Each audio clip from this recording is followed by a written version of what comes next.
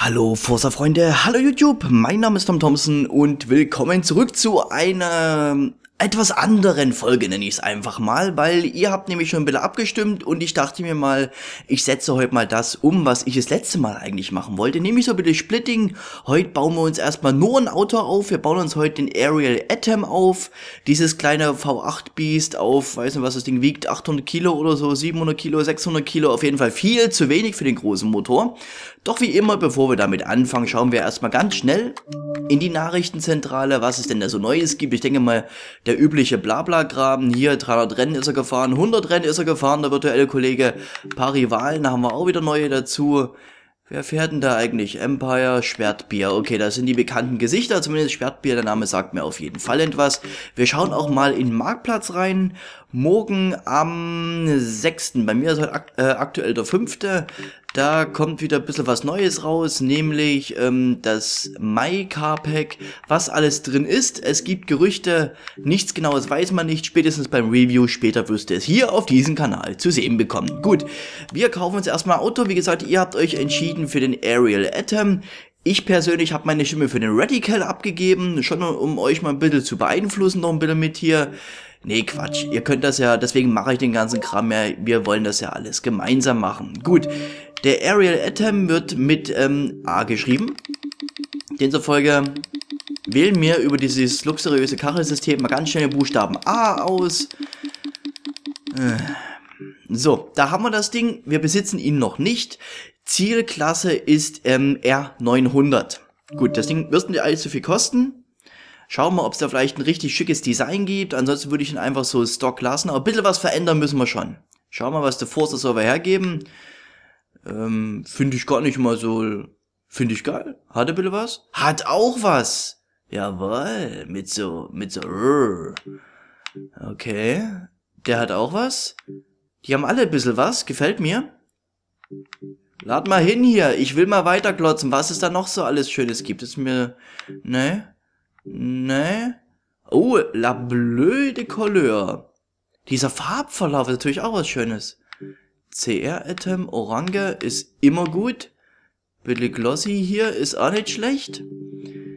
Aber irgendwie so ganz am Anfang, das hat es mir irgendwie angetan. Dieses Rot gefällt mir. Gefällt mir. Rot ist immer gut. Können wir drum rumgehen, können wir nicht drum rumgehen, wir können nicht drum rumgehen. Ist aber kein Problem, den kaufen wir uns mal ganz schnell. 170.000 Öcken für dieses Biest. Ja, da ist jeder Cent wert. Wir werden das heute mal wieder anders machen. Wir werden jetzt heute, wie gesagt, in dieser Ausgabe nur das Auto uns aufbauen. Hat bitte von vorn was? 2013er Ariel Atom 500 V8. Ja, wir werden gleich mal horchen, was Olga allgemein zu dem Wagen noch zu sagen hat. Danach werden wir, das sieht echt aus wie ein Formel 1 Wagen, kannst du sagen, was du willst. Gehen wir erstmal im Forza Vista. Hier vorne haben wir so LED-Leuchten. Die kann man sogar anmachen. Himmelweiter Unterschied. Ähm, können wir hier, wir können hoffentlich hier irgendwo in den Motor reinklotzen. Weil viel Motor ist da nicht. Ist aber so ein V8 runter, ist ja nichts Großes. Gut, dann müssen wir wohl oder übel. Lassen wir erstmal Olga quatschen hier. Ohne Dach, Fenster oder Türen gilt der Atom als Inbegriff des Minimalismus in der Automobilwelt. Das elegante Exoskelett ist ein Meisterwerk der Technik, da es mit seiner ultraleichten Bauweise sowohl Leistung als auch Nervenkitzel verspricht. Einiges hat sich zwar verändert, seit die Entwicklung des Atom 2001 als Studentenprojekt begann, doch eines ist immer gleich geblieben die Schlichtheit. Dank des freiliegenden röhrenartigen Chassis fährt der Atom Rekordgeschwindigkeiten. So stellte er beispielsweise den Rekord als schnellster Indoor-Sportwagen im National Exhibition Center in Birmingham auf und hielt ebenfalls den Rekord bei den Power Labs von Top Gear. Die Herstellerfirma Ariel hält ebenfalls viel von Schlichtheit. Sie beschäftigt nur sieben Mitarbeiter. Mit seinem reduzierten, simplen Rahmengestell und einem kraftvollen 3-Liter-Achtzylinder-Motor bietet der Atom das Nonplusultra an echtem, unverfälschtem Fahrspaß. Da hat sie recht. Also für mich war, was habe ich jetzt gelernt? Sieben Mitarbeiter gerade mal bei Ariel. Das hätte ich nicht gedacht. Das hätte ich echt nicht gedacht. Ich dachte wirklich, da arbeitet auch so eine kleine Manufaktur, sowas wie Wiesmann. Werfen wir an das Ding. Oha.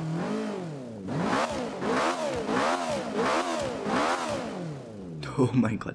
Also da würde ich nicht draußen rumfahren wollen, wenn sie bitte frisch ist, so wie aktuell bei uns noch. Weil ich glaube, da machst du dir ganz schnell, holst du dir ganz schnell eine Erkältung. Ich kann es aber nicht glauben, dass man in den Motor nicht reinglotzen kann. Man sieht im V8, man sieht ihn, der ist ja quer eingebaut. Hier seht ihr, da, da, da, da, da geht, da geht der Krümmer weg. Man kommt aber nicht ran. Man kommt nicht ran an das Ding. Gut, was machen wir mit dem Auto? Ganz einfach. Wir werden den Wagen erstmal Probe fahren. Erstmal Probe fahren, um zu gucken, wie er sich überhaupt verhält, wie er sich fährt. Und ähm, dann, das Ding machen wir natürlich auf äh, Long Beach, auf den West Coast, der hat mir so ganz gut gefallen. Und danach schrauben wir systematisch äh, bitte dran rum. Leichter und Leistung würde ich nicht machen. Müssen wir mal gucken. Weil ich glaube, der Eimer, der ist äh, stark genug. Also ich denke mal, wir werden hier sehr viel beim Handling, bei der Traktion ein bisschen anpacken müssen. Reifen, Felgen, Fahrwerk, irgendwie so die Richtung würde ich gehen wollen. Aber wir müssen erst mal schauen, was die erste Proberunde uns jetzt gleich hier offenbart. Ob wir vielleicht ein Auto haben, was ganz gut geht. Noch Soundcheck von außen. Guckt euch die Farbe an. Guckt euch die... Da, da, da, da, da. Seht ihr das?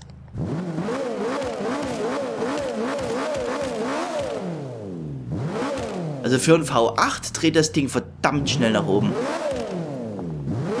Vom Klang her geht es irgendwie Richtung Moped.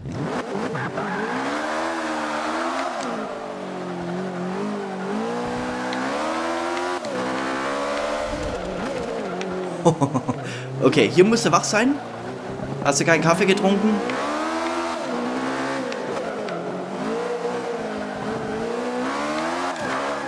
Gut, Hinterreifen kommen quer, wenn wir es wollen.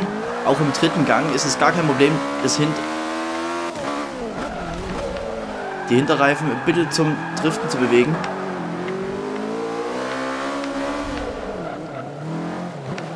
Aber ich glaube, wir haben den falschen Kurs uns rausgesucht. Aber hier wissen wir zumindest schon mal...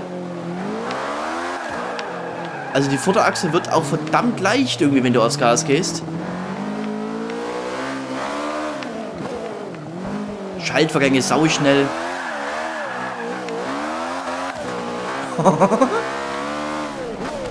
uh. das Ding ist ein Biest. Okay, ich glaube, der geht damit jetzt weg.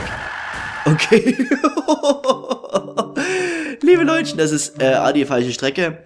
Und B, ein richtig krankes Auto. Ein richtig krankes Auto. Gut, was machen wir? Wir wissen, Hinterreifen, das Ding kommt mit einem Heck. Und das nicht ohne, ich meine, wir haben den Motor auf dem Heck. Vorn ist nix, außer unsere Stinkefüße. Vorn ist sonst gar nichts. Würde ich mal sagen, wir packen erstmal richtig gute Reifen drauf. Wir schauen aber trotzdem mal in die Spoilerabteilung rein, was es denn hier so gibt. Von Ariel? Ja, genau. Das hättet ihr gern? Nee, nee, nee, nee, nee. Das Frontding bleibt auf jeden Fall drauf. Genauso wie der Heckflügel, der bleibt auch drauf. Also den nehme ich auf gar keinen Fall runter. Auf gar keinen Fall. Viele werden jetzt sagen, Tom, mach doch einfach hier, man kann die Reifen nicht breiter machen, da schau her. Mach doch einfach Allradantrieb. Kann man machen, muss man aber nicht. So, machen wir hier ein bisschen, da holen wir auf jeden Fall ein bisschen was raus. Wir machen Dragreifen drauf. Also keine Dragreifen, schon so ein bisschen Dragreifen. So Reifen, Rennreifen, ne? Wir können aber bei den Felgen mal schauen, dass wir vielleicht die ganze Hütte ein bisschen leichter machen, indem wir so, so Importfelgen drauf machen. Ruhig in Gold, das passt nämlich ganz gut dazu. Plus 9 Kilo. Gut, hier Felgen zu finden, die leichter sind, wird wohl... wird gar nicht mal so einfach werden, wie ich das jetzt hier sehe. Hätte ich ehrlich gesagt nicht gedacht. Aber klar, irgendwoher muss ja das Leichtgewicht herkommen. Die gefallen mir irgendwie. Fixe! Papa! Ja, äh, machen wir weiter. Was ist das hier? König ist nicht schlecht. Oh, oh, oh. Da, König Felgen. In Gülden. In Gülden und ein Kilo leichter. Mach mal. Da sind wir bei 8,80 angekommen. Schauen wir. Ähm, ich würde sie nicht größer machen. Nur mal gucken, wie es aussieht. Nee, das, das sieht aus wie 1 vielleicht auf der Hinterachse mehr. Machen wir auf der Hinterachse 1 größer, verlieren wir wieder an Gewicht, ne? Legen wir wieder ein Kilo zu, sind wir wieder bei 650 Kilo. Würde ich aber hinten mal machen, vielleicht sogar vorn. Weil, ähm, ihr wisst, das habe ich euch das letzte Mal ge gesagt, dass äh, wenn viel Gummi auf der Felge ist, dass wir dann, dass dieser Wobble-Wobble-Effekt eintritt. Ne? Gummi bewegt sich in Kurven, links, rechts und dem wollen wir einfach ein bisschen entgegenwirken. Ähm, ha, Fahrwerk können wir gar nicht einstellen. Bremsanlage machen wir eine große drunter. Also ich will wirklich vermeiden, dass wir hier irgendwie einen Käfig nochmal drumrum. Hm, 9 Kilo drauf. Sieht schon scheiße aus, ne? Kann man nicht sagen hier. Was haben wir denn hier? 2,9. Oh, guckt euch die, die Querbeschleunigung bei 193 an. 1,72. Das ist Wahnsinn. Also solche Zahlen habe ich noch nie gesehen. So, schauen wir mal Bremsweg, ob sich da was ändert. 24,3 zu 24,1. Wird alles ein bisschen stabiler, würde ich mal sagen. Machen wir nochmal hier. Das Handling geht hoch. Minimal, minimal. Gut, den machen wir mal rein. Den machen wir mal rein. Wenn sich der Tom überschlägt, dann hau ich mir auf keinen Fall mein Köpfchen ein. Ähm, Leistung. Boah. Vielleicht ein bisschen was für ein Sound, aber... Ihr seht schon, ne? Ja, wir machen hier gar nicht viel auf Leistung und so. Und ehe wir uns versehen, haben wir sowieso alles drin. Ich will alles reinmachen, außer Hubraum, weil ich möchte ungern mehr Drehmoment haben. Also richtig viel Drehmoment. Rennkolben sind 902. Okay, passt mal auf. Machen wir Rennkolben. Machen dafür Kraftstoffanlage 1 runter. Ihr wollt mich doch trollen, oder? Ähm, machen Luftfilter raus. Hm. Rennkolben raus. Okay. Du hast echt nicht viel Möglichkeiten. Du hast nicht viel Möglichkeiten. Ich glaube, den Eimer kann man jetzt so lassen, wie er ist. Gut, man könnte die Reifen schlechter machen. Möchte ich aber nicht. Nein, nein, nein, nein, nein ich bin da gar nicht fertig. Ich bin noch nicht fertig. Wieder rein, wieder rein, weil jetzt kommt nämlich das Wichtige, nämlich die ganze Setup-Arbeit. Jetzt wird das Ganze auf jeden Fall mal interessant. Wir schauen mal, was wir hier einstellen können. Wir machen erstmal hier, das ist jetzt erstmal Standard, Kost 2. 1, 2, 3, 4, 5. Hinten fahren wir 2,7 ungefähr. Schauen wir mal. 1, 2, 3, 4, 5, 6, 7. Übersetzung lassen wir gleich. Sturz haben wir relativ viel. Ich würde hinten ähm, vorn zum Einlenken und hinten auch ein bisschen, dass das Heck stabiler wird. Den Nachlauf vielleicht ein bisschen erhöhen. 5,3 sollte eigentlich ausreichen. Gut, wir haben Stabis drin. Dann machen wir das Heck noch ein bisschen träger. Vorderachse lasse ich erstmal so. Gut, der ist hochgelegt ohne Ende. Wir machen die Federn hinten noch ein bisschen weicher. Einmal ein bisschen ähm, Dämpfung. Lasst mal klotzen. Machen wir hinten auch ein bisschen weicher. Mir geht das mal rein ums Heck. Mir geht das mal rein ums Heck. 6,5. Die Hälfte machen wir 4,7. Das ist okay. Das lassen wir gleich. Bremsdruck lassen wir gleich. Sperrtief machen wir ein bisschen runter. Das ist nämlich auch, das habe ich von euch gelernt, wenn man das zu hoch einstellt, Ah, Verzögerung. Wir können nicht mal ein Sperrte vereinbaren. Wenn man das so hoch einstellt, kann es auch ganz gut sein, dass du ein mitlenkendes Heck hast, was wir auf jeden Fall vermeiden wollen. Gut, wir gehen wieder auf unsere Teststrecke, nämlich Long Beach, und da fahren wir jetzt mal den Full Circuit. Bin aber gespannt, ob wir hier in der Rekordzeit von 30 Minuten ungefähr ein Setup hinbekommen, wo wir uns dann später im Let's Play, ähm, also bei den normalen Rennen, nicht erst noch hinsetzen müssen, wie fühlt sich das an? Ich werde übrigens auch die nächsten Ausgaben ein bisschen damit gestalten, dass wir immer die Klassenrennen machen. Also D, E, einfach mal so ein Rennen, äh, so ein Auto nehmen, was wir vielleicht schon haben. Ansonsten suchen wir uns einfach irgendetwas aus Gut, von den offenen Luftfilter höre ich aktuell nicht viel. Machen wir nochmal ein kleines Glotzi-Glotzi, was den Käfig angeht. Ja, ich fühle mich sicherer. Ich fühle mich sicherer. Doch, man hört ein bisschen was, ne? Ja, ein bisschen kraftvoller hört er sich an.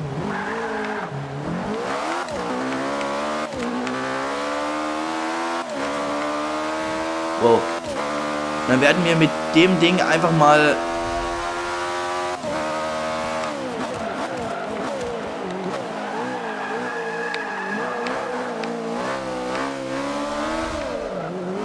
Gut, erstmal kurz dran gewöhnen. Das ist echt ein Auto, hier kannst du nicht viel, nicht viel reden.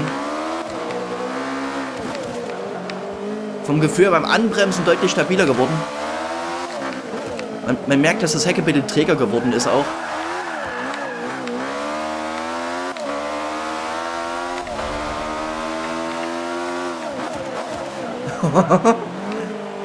also der Klang macht süchtig bei dem Ding.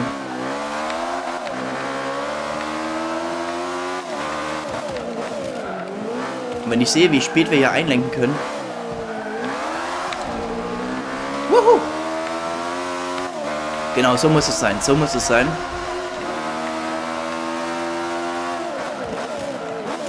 Hecke schön stabil beim Bremsen. Bremsbalance passt also.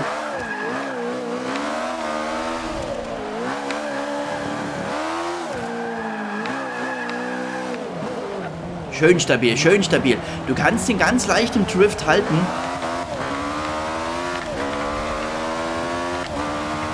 Guckt euch das an, wie der die Tachoscheibe weghaut.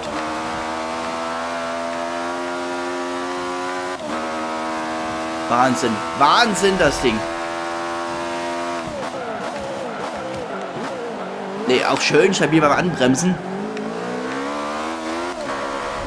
Das würde nicht etwa ein Setup sein, was auf Anfang von Anfang an funktioniert.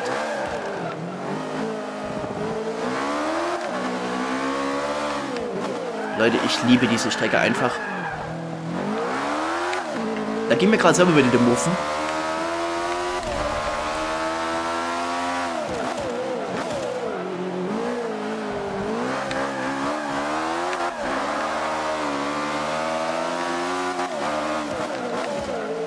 So, wir schauen uns gleich mal die Reifentemperatur an. Wo sind wir denn da aktuell?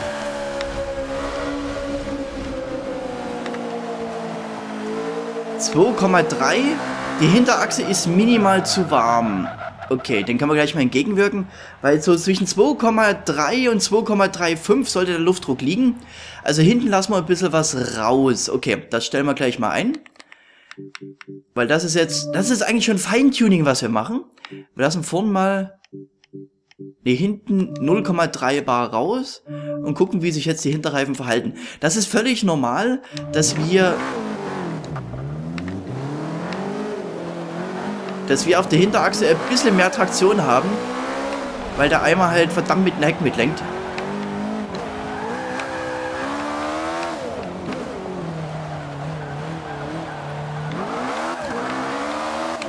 Wir sollten aber auch mit der Variante, ihr seht auch schon 2,38 jetzt nur noch.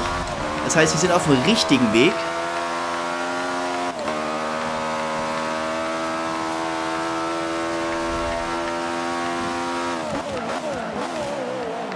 Guckt euch die Bremsscheibe vorne links an, Leute. Geile Sache. Open Wheeler hier.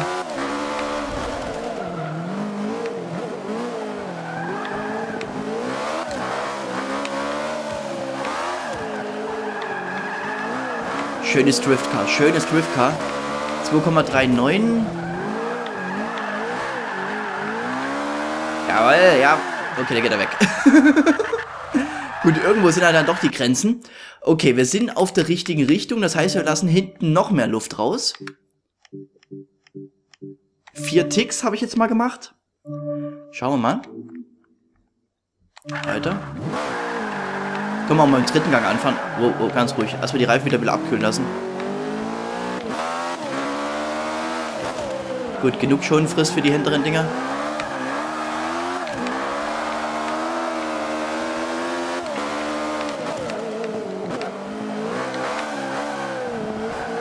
Heck ist gleich ein bisschen stabiler. 2,45. Okay, durch das Rumgeslide ist das kein Wunder.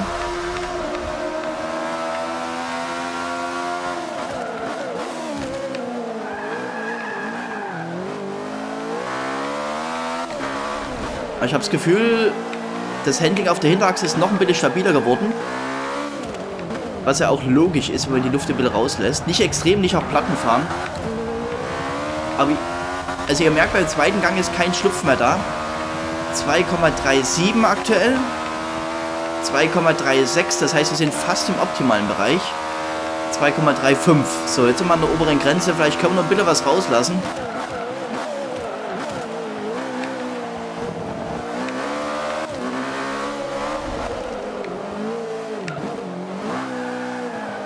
Gut, hier könnte ich mir den ersten Gang eigentlich sparen. Wahnsinn, wie der um die Ecken geht. Also sowas von agil habe ich selten erlebt. Klar, Leichtgewicht, fetter Motor, ist nicht mal Pflicht. Das Ding würde genauso gut auch mit, mit 100 PS um die Ecke gehen.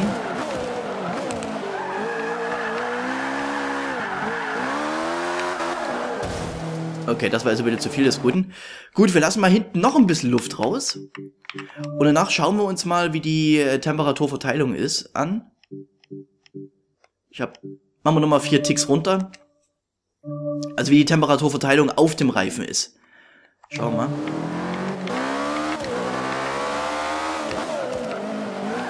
Und zum Schluss probieren wir vielleicht auch nochmal eine andere Strecke aus, nur um sicher zu gehen.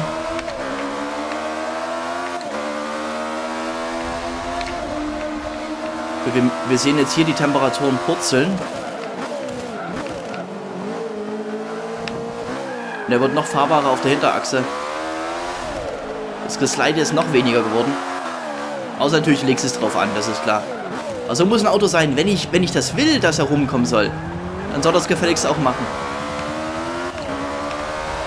So, jetzt sollten wir von den Temperaturen ja in den ganz ges gesunden Bereich runtergehen. Oder vom Luftdruck her. Die Temperaturen sind natürlich abhängig von der Reifenmischung auch ein bisschen mit. Das heißt, ein Straßenreifen bei 110 Grad, der löst sich auf. Ein Rennreifen kommt da mal erst ins richtige Arbeiten rein.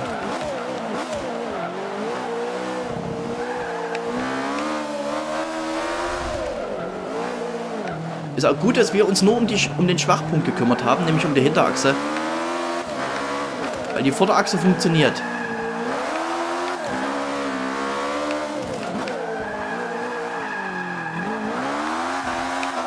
Ah, ich dachte, ich schaffe es nicht mehr. Okay, was haben wir denn noch? Schauen wir uns mal die Verteilung an. Da kann man nämlich prüfen, wie der Sturz denn aktuell ist.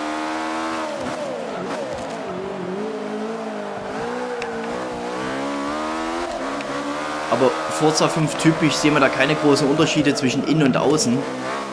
Was meiner Meinung nach gerade bei 2 Grad Sturz auf der Vorderachse überhaupt nicht sein kann. Ja, ist exakt das gleiche fast. Das spielt sich hier im 0, und Bereich ab.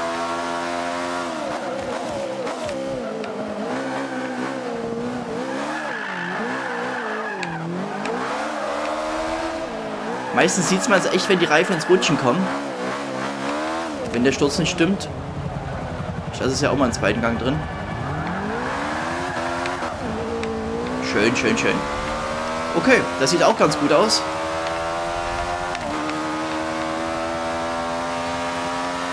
Probieren wir einfach mal ein, zwei fliegende Runden und dann probieren wir nochmal einen anderen Kurs aus. Nur um sicher zu gehen, ob das Ding auch auf anderen Strecken funktioniert, was wir hier zusammengeschraubt haben.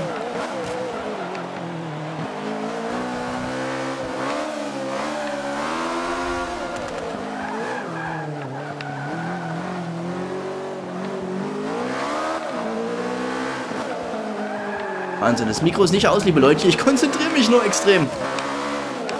Weil hier ist, hier ist vorbei mit, mit Kekse essen nebenbei. Hier musst du wach sein.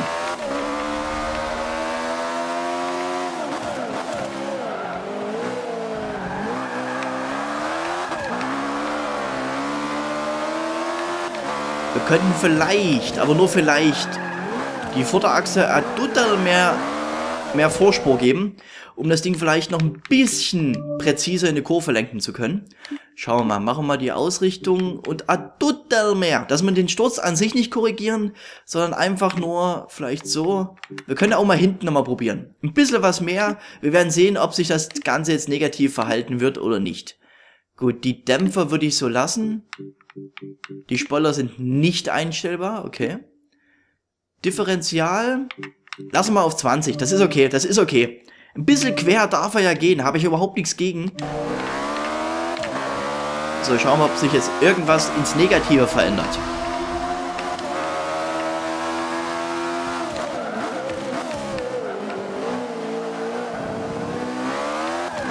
Da auch ruhig erstmal ein, zwei Kurven Zeit lassen, bevor man sich eine Meinung bildet. Also von vom ersten Gefühl her können wir die Kurven eine Ecke enger nehmen. Man würde mit mir hier eine Runde im Aerial Atom drehen wollen. Ohne Helm. Nur mit Fliegerbrille.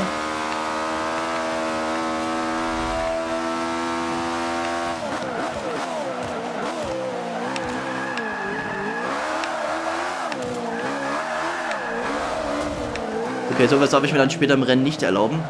Das Ding einmal probieren quer zu halten.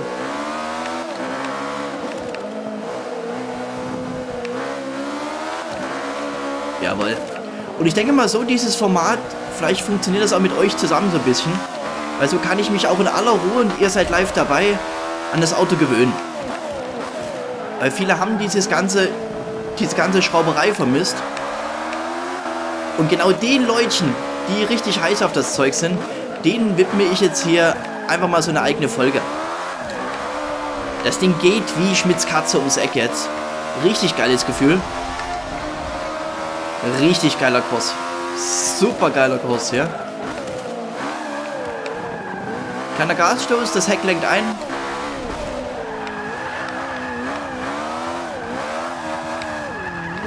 Wahnsinn, das Ding. Wahnsinn. Also Ariel, ihr seid echt krank im Kopf. Das ist auch wieder so eine Suchtkarre hier. Anderthalb Sekunden gefunden, das ist auf jeden Fall ein richtig gutes Zeichen, dass unser Setup wie ein bisschen funktioniert. So, wir testen das Ganze jetzt mal noch auf einer anderen Strecke. Mal ganz kurz von außen mal horchen. Gut, aber das ist echt ein Ding, da, da muss ich drin sitzen. Weil so viel wie hier die Hinterachse mitlenkt, das kann ich so rein vom Visuellen, wie es der Lukas macht, kriege ich das nicht gebacken.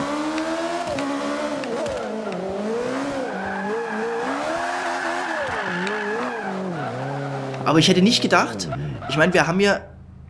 Was leuchtet denn da hinten? Ist das ein Bremslicht, das kleine Ding da? Nö, was ist das da? Die rote Lampe, Motor muss zum Ölwechsel. Wie es der Lukas macht, das, das ist nichts für mich. Das ist nichts für mich. Da bin ich einfach zu sehr Cockpit gewohnt. Ich bin immer Cockpit gefahren und das wird sich auch nicht ändern. So, wir testen das ganze Ding jetzt nochmal auf den Catalunya Clubkurs. Da haben wir dieses ähm, DSS, dieses Geschlängler am Anfang drin. Und da werden wir dann nochmal sehen, wie da sich das Ding mit Lastwechseln verhält, ob wir da irgendwie ein Unter, Über oder was für ich, äh, was weiß ich für ein Steuern drin haben. Weil dann kann ich nämlich nicht mehr sagen, dass wir, ähm, oder dass ich das Ding nur auf einem Kurs abgestimmt habe. Das ist einfach falsch dann. So, School Circuit, lass mir überlegen. Ähm, diesen möchte ich ja mitnehmen. Genau dieser ist es, glaube ich, so National. Schauen wir einfach mal. Fahren wir mal den noch, nur um sicherzustellen, dass das Ding ja auch funktioniert. Gut, das heißt natürlich nicht, dass das Ding auf Prag geht, Silverstone geht, dass er in Spar funktioniert. Aber zumindest sind wir auf der sicheren Seite, dass das Ding auf zwei von, wie viele Kurse haben wir insgesamt? Fünf oder so, ähm, dass es da auf jeden Fall funktioniert. Und wir haben eine Lackierung von der Community. Wir haben ähm, Aftermarket Wheels, liebe Leutchen, in der passenden Farbe. Wir haben eine richtig geile Lackierung, habe ich schon erwähnt, ne? Wir haben ein Setup drauf. Und ihr wart live dabei, wie das Ganze hier entstanden ist. So, schauen wir mal, wie der einmal hier funktioniert. Die Scheibe hier vorne, die kann wegen mir auch weg sein. Weil das ist ja eh ein Witz, das Ding. Gut, die Reifen brauchen erst wieder ein bisschen, bis sie ins Arbeiten kommen, wissen wir ja. Das heißt, jetzt mal ganz in Ruhe das Ding warm fahren. Aber das verwundert mich schon extrem, wie die das gemacht haben, diesen Motor auf der Hinterachse zu lagern. Und trotzdem ist er fahrbar. Also ich beschleunige jede Kurve voll raus, ne? Wieder voll drauf. Aber ihr seht es ja selber an dem blauen Balken in der rechten Ecke wie viel Gas ich gebe. Und genau so muss ein Auto meiner Meinung nach sein. Du musst es mit dem Gasfuß lenken können.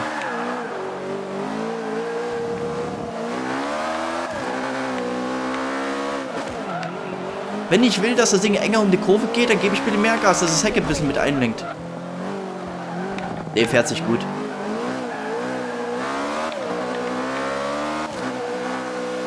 Ja, der, ja, der giert ja richtig nach innen hier. Da hätte ich ja voll auf dem Gas draufbleiben können. Über 10.000 Umdrehungen. Und der kreicht was zusammen. Über 260 auf der Ohr.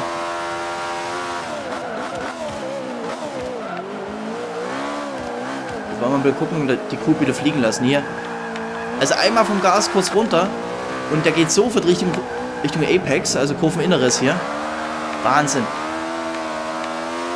du hast ein schönes Gefühl. Du hast einen schönen Popometer. Das Auto, das verkünstelt sich nicht. Das heißt, das spielt dir nichts vor.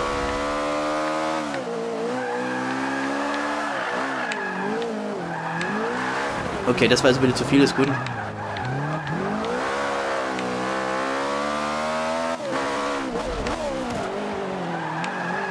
Du kannst ihn auch schön anstellen. Links, rechts gelenkt. Schon ist er sofort dabei. Den haben wir jetzt so abgestimmt, dass der eher Richtung ähm, Untersteuern geht, wenn wir es zu spät krachen lassen hier.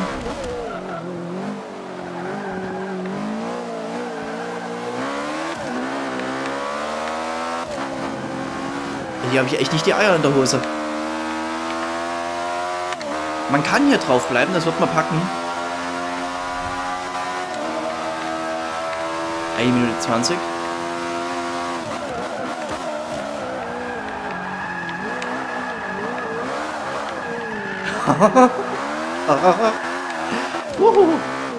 Alter Schwede, ist das geil, das Ding.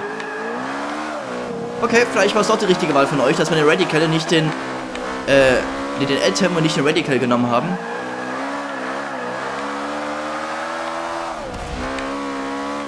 Das Ding verleitet schon extrem zum Querfahren.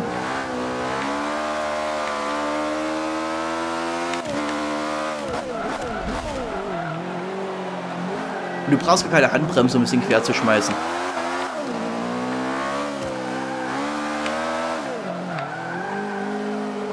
Der verzeiht auch relativ viel, finde ich auch ganz cool. Hier seht ihr das mal, der fängt an über die Vorderachse zu schieben. Wenn ich nicht zu sehr übertreibe, geht alles nur über die Vorderachse. Wir wissen ja, Untersteuern ist immer fahrbarer als Übersteuern, also zumindest kontrollierbarer.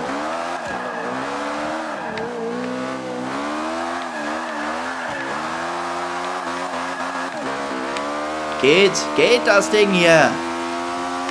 Gut, also hier geht er auch.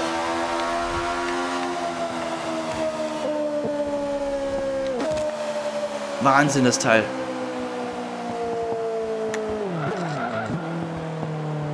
Wahnsinn.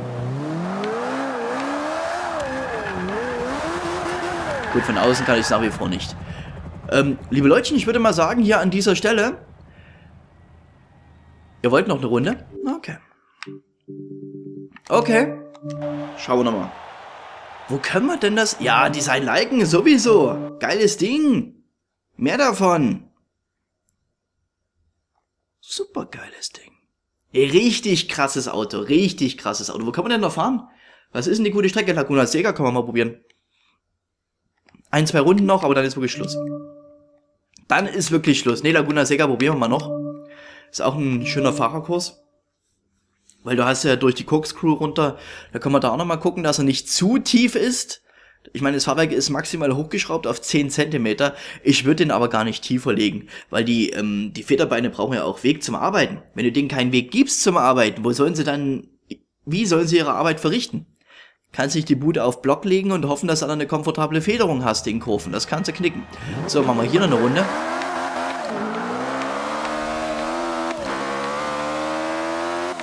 Weil hier haben wir auch einige Kurven drin, wie die zum Beispiel. Da wird er auch leicht. Und der Kurs hat nicht ganz so viel Traktion. Wir wissen, hier ist Sand und so.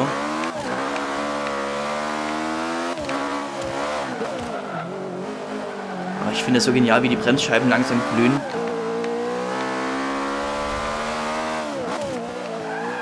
Da, da darfst du nicht lange Zehennägel haben hier, die werden gleich weggeschmort.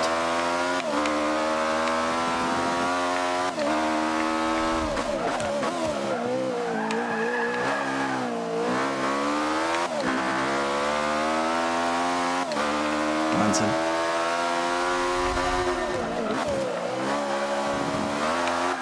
Also ihr seht es selber. Ne? Ihr seht es selber, wie fahrbar das Ding ist. Und ich glaube, das ist auch eine ganz gute Lektion für mich. Dass ich mir einfach mal, weil ich weiß ja, wenn ich Videos aufnehme und dabei unter Umständen auch nicht vergesse, das Mikro anzumachen, dann äh, gebe ich mir besonders viel Mühe. Und vielleicht ist es beim, beim Setup machen auch gar nicht mal so falsch, wenn jeder mit dabei seid. Weil so habe ich immer das Gefühl, dass ihr mir aktuell über die Schultern schaut. Und da gebe ich mir einfach nochmal ein bisschen mehr Mühe. Und vielleicht lernt auch der ein oder andere da noch was davon. Oder dabei. So, eine Runde machen wir noch, aber dann ist wirklich Schulz hier.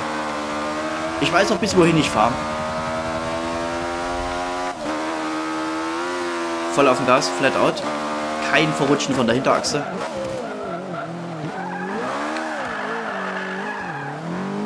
Wir mal schauen, ob das sehr spätige Bremse mir später in den ganzen Rennen zum Verhängnis wird.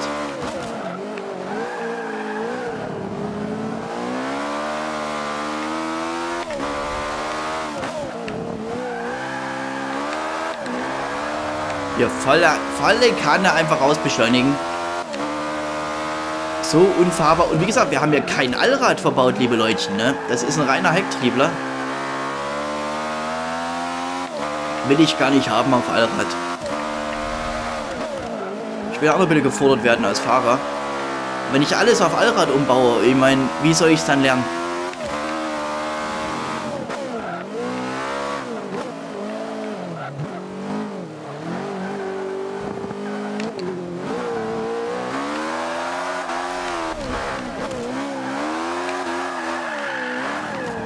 Wahnsinn. Wahnsinn hier. Gut. Das Ding gefällt mir hier ein bisschen.